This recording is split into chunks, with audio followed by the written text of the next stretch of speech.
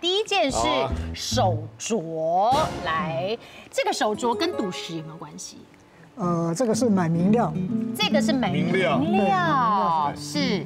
那当然，上次也有一些物件，我记得是买明料，然后结果建出来哦，很惊人。那今天这块手镯，哎，也蛮美的哦，感觉干净。可是你看，在这边有一点点翠绿色的那个翠，是很漂亮的，淡淡的哦。来，我们讲讲这个手镯的。怎么来的？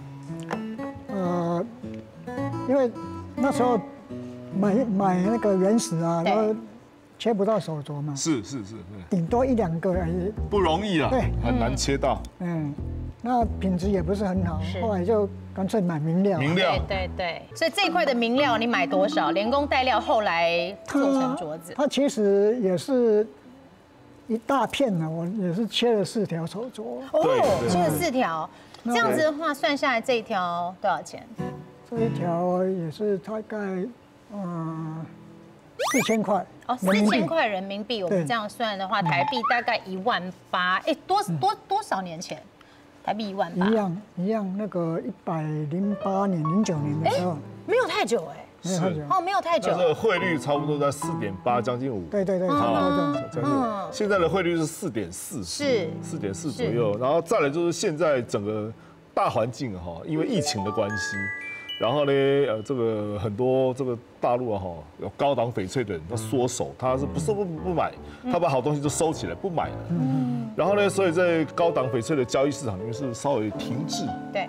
那底下的人那又不一样了，对，他有两条路很特别的路。第一个就是哈，新进来的想要好奇这个殿堂的，我把它买的很凶，好。那另外呢有的已经买了很久了，那他就是说他买一段时间以后，然后他就再释放出来，他可能有的卖掉赚钱，他有的就就很大亏本的卖掉。好，那个大约在一年前这样的事情都消化完了。哦，现在又最新的状况是什么？就是大致上所有的翡翠，只要不要有瑕疵的、像样的，留在一块里哈，都慢慢慢慢的在在在升温。对，还有一件事情，东南亚，哎呦，很多国家哈，整个反正哈，整个都大爆发。我感觉，但是不是鼓励你现在买珠宝哦？是，我是说把现状告诉各位。好，那未来的一年到两年是一个观察期。嗯，结论要告诉各位哈，像这样子买翡翠哈，是一个模式。那哪里买最便宜？我上课常常讲的，当你懂的时候最便宜。多做功课，对，知道那个行情在哪，是是，不要被蒙蔽了。卖光那蓝公司啊，哇，这个李老师说什么？李老师做什么空单了哦？啊，对哦，进来。李老师说我还没讲话头如捣蒜。他是我好朋友，对，就是这样子。嗯，然后我们，所以我刚才跟廖老师他就聊说，我们真的现在要谨言慎行，不能是随便乱宣传，人家会听你一句话，说哦，给你给你，打开跟窗来，就不太好。结果节目只看一半这样子，对不对？没有听到后面是说要先做功课，要懂，要跟大家讲，懂了才绝对不要断章取义。是是是，所以这咖啡料碎不？如果按照这样的价钱来看，我们鉴定一下就知道，好不好？高倍哈，好，看看今天第一件到底买的怎么样？来，陈大哥，请见价，三万元哦，恭喜。现在哈这样的一个手镯哈，它在台湾哈这个行情，只要你要买的话哈，三万块哈，我觉得是可以买得到，但是不是一定可以买得到，但是大约大约了。因为现在很混沌，而且我们平常讲台湾，我们现在哈这个所有的整个景气还没有说加温到不得了。对，但是三万块是可以的。哎，不错不错，相当不错。来，过了几年就有涨价哦，廖老师。上个礼拜那个香港珠宝展，对，其实呢。呃，同行回来反映给我的哈，就是 people mountain people sea，人山人海，但是真正成交的哈，怎么了？真正成交的量很低，可是呢，好的东西会成交。是。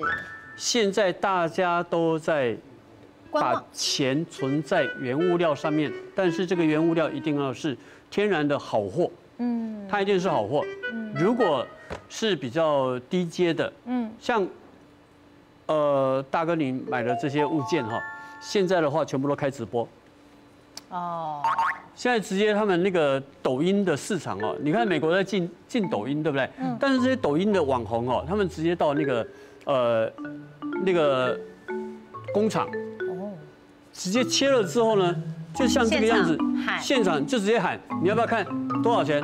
嗯。啊，要看的话，可能都已经是你们都是我的粉丝的，对，我买的货，我看的货，可能你们你们都相信了，相信了，然后价格，价格超便宜啊，也没有经过店面啊，也没有经过任何的 agent 的代成本压低了，都没有，是是，直接就是我在这边你看货，这些都便宜货会这样卖，嗯。高档货还是会在珠宝展上面或者店面，嗯，所以现在呢，这个是两极的市场，是两极的市场。那你如果说好像手镯的部分，我们来看，有一颗哈，最近的事情啦，真的是赌石，是一刀穷一刀富，再一刀就带麻布了。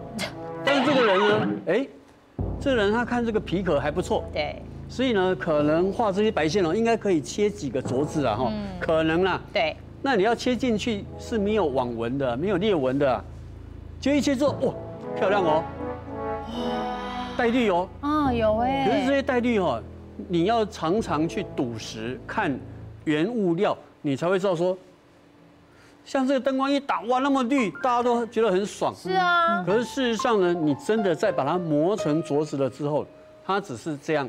哦，你看这个颜色差很多，有点深，对，因为它有一个深度在，是是所以那个是绿会反映出来。嗯，但是真正切成镯子或者是薄片的时候，哎，绿就不见了。结果不同哦，哎，结果不同，但是这个是切长了的，这一颗石头是切长。是，所以难怪后来陈大哥说，我干脆买明料好了。对，这是一个聪明的做法。对呀，来看看这一块，哇，你看正反面都很漂亮，尤其正面有观音。哦，哎有观音，然后观音像也是刻的很清楚、很庄严，这一块还蛮漂亮的。哦，虽然它就是飘了一些些这个黄这个对，但是这黄翡颜色又有点太深了哦，有点可惜。可是绿色的地方还是蛮脆的。来这一块，给我们介绍一下，陈大哥。这块其实它也是一块赌石嘛哈，然后它就是有做了一条镯子是，啊，所以这是镯心，对，那个镯心做的。对。是。那那一块呃连工带料的成本大概也是四千块左右人民币，但是这个我就把它抓抓两千了，因为两千块。因为它工钱比较贵。哦，工钱含工贵含工钱大概两千两两千人民币的话，用那时候汇率算，大概快一万哈嗯差不多大概快一万。哎，那您当初把这个镯心把它这样子，因为它要做那个观音面像，它雕工也是不容易啊连工带料这样我觉得还行哎，感觉还可以。后来那块那条手镯呢？那条手手镯镯，手镯还在吗？还在啊，还在，还留着有。戴还有。真 的哦，那下次有机会我们来看一看，应该蛮漂亮的。嗯，我觉得这个还，这是很典型的这个糯米种的白底青嗯，哦。那它这个整体上来讲，我觉得它这看你怎么说了哈。假如说你要硬把它说这是一个巧色巧雕，也可以的。那事实上来讲，买的人一定会嫌这个旁边这些黄点。对，那你要把它说这个是云啊、雾啊，哈，旁边有一些呃比额外的这些呃所谓的不同的吉祥物也是可以的，嗯哦，就看你怎么解释。不过呢，它整体来讲，它这样手工雕的，基本上来讲，现在工资上涨，哦，所以要雕成这样一个整体观音，然后面相、法相都很好的，那倒是不容易了。而且我我跟你讲，陈大哥，我觉得你还有一个成本要算进去，你飞到云南呢，这块是不是亲自飞到云南去？没有，这个都是后来后来用网络购买的。哦，嗯所以是这个店家在云南，对对你寄他寄过来，再寄过来哦那这样顿时成本又压低。我以为他跑到云南去，如果是寄过来算运费，那还行哦。好，那这一块我们赶紧来帮您评估一下，请请见见价。一万八千元。哦，不错不错，这个不错，这样看起来算有个很。典型的，就是你从背后看，就是白底青的洋绿色了。是。所以说它这样的就整个这个颜色大家很喜欢，是。啊，戴在这个各种的服饰上，白色的啦，或黑色比较暗色色系，或者不要那种咖啡色的哈，那种比较奇怪的色系的话，哦，这样这样你看这样看起来哇，它很出色的，哦，暗色很出色。嗯嗯，对。哦，所以这样的这种呃呃，就是镯心的坠子哈，是现在买的人还是蛮多的，嗯好，可以的所不错市场都还在哈。喜爱大寻宝家的观众粉丝们，我们有 YouTube 频道喽，只要在 YouTube 搜寻东风卫视，或是扫描下方的 QR code，就可以收到最快最新的节目内容，还有更多网络独享的影片。方法也很简单，只要按下订阅，开启小铃铛，就可以收到我们最新的节目消息。也不要忘了分享给身边的好朋友哦。